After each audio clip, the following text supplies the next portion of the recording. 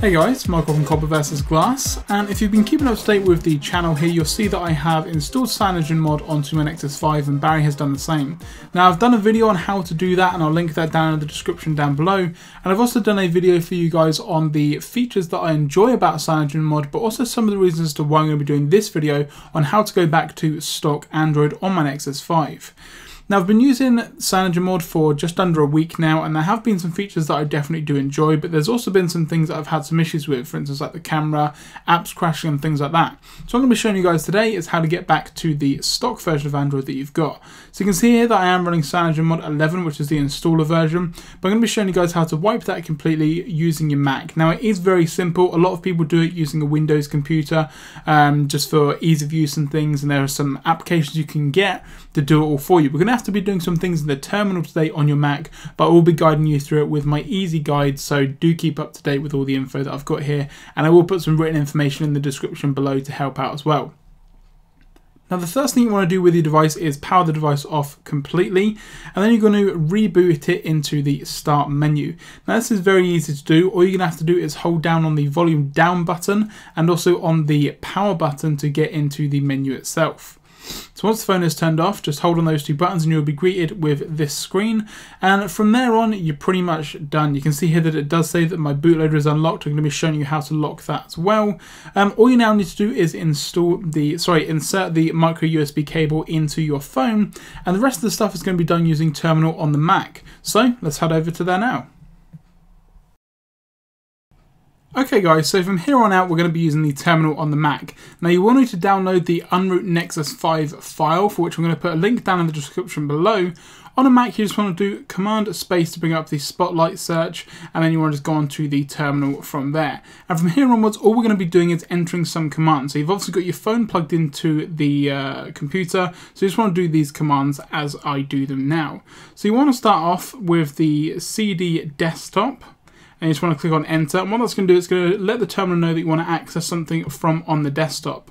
Now after that you want to do cd unroot nexus 5 and then again press enter so it knows you want to access that file which is on your desktop and then it gets a bit complicated so do follow along if you have any issues then pause the video and have a look but I will put something down in the description below that will give you guys a hand as well.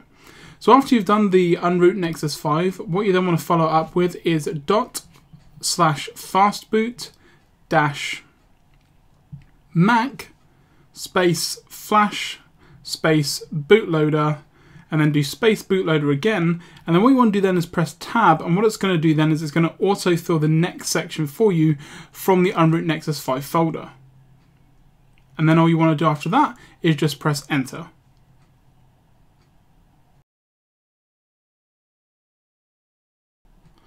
Next up, we want to restart the bootloader because obviously we've changed some things. So again, you want to do full stop slash fastboot dash Mac space reboot dash bootloader.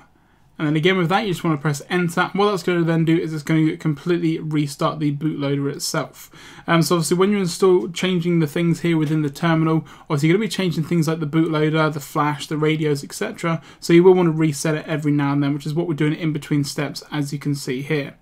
Now the next portion after that is we want to install the radios for the actual phone itself. So again you want to do full stop dash fastboot dash Mac space flash space radio space radio and then again you want to press tab and it's going to auto fill the next bit. Now this bit here where it says hammerhead is the code name for the nexus 5 um, so don't be concerned that you're installing something that you shouldn't be onto the device. It's just going to be putting the original files back onto the phone for you. Now again because we've changed something you want to do dot slash fastboot dash mac dash sorry space reboot and then dash bootloader and then again, you just want to press enter with this one as well. And again, it's just going to restart the bootloader because also we've flashed some certain radios and things to it. As you can see here, I had some issues with the spelling and things. So do make sure that you get it right because it is crucial that these bits are correct so that it works as it should do. So then it's going to be rebooted. And then the next bit is going to be the main image of the actual software itself. So basically Android being put back onto your device as stock. So for this, again, all you want to be doing is just full stop dash fastboot dash Mac space dash W space update space image. Then you want to do uh, another dash and then again, if you press tab, it's then going to autofill the next portion. And all we want to do here again is click on enter.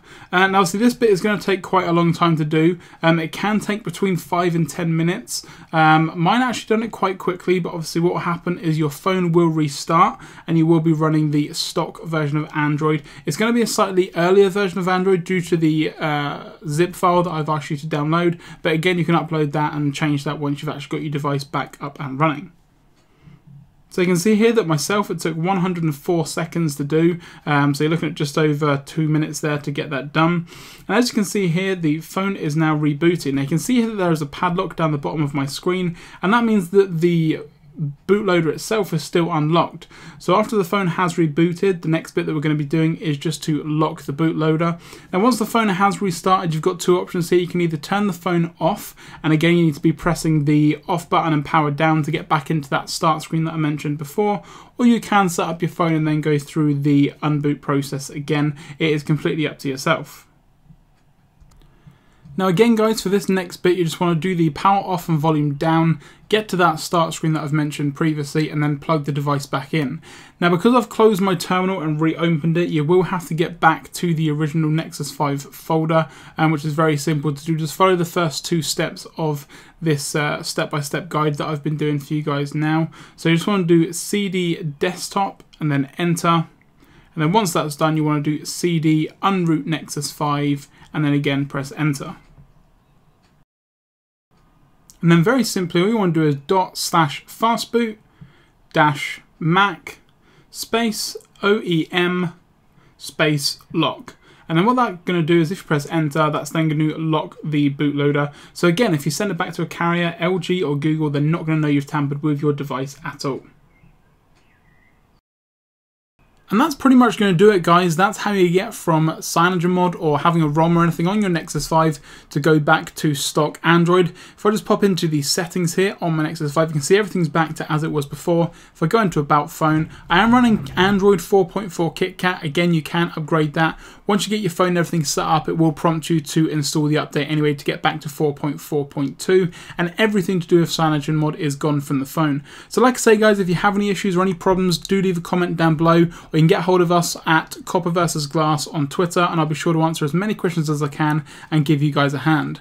I'm Michael from Copper vs Glass. This has been a look how to get your phone back to stock Android after having a ROM or CyanogenMod or just being rooted in any way, and I will catch you guys in the next video.